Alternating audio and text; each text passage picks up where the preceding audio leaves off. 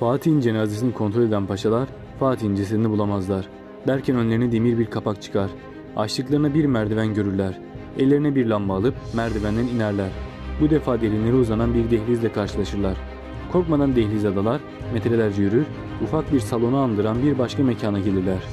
Ortada musalla taşını andıran bir mermer, mermerin üzerinde de bir tabut vardır. Bir hayli zorlanarak tabutu açar ve bozulmamış bir mumya bulurlar. Fatih mumyasını. Yüzü hala zamanda çizilmiş resimlerdeki gibidir.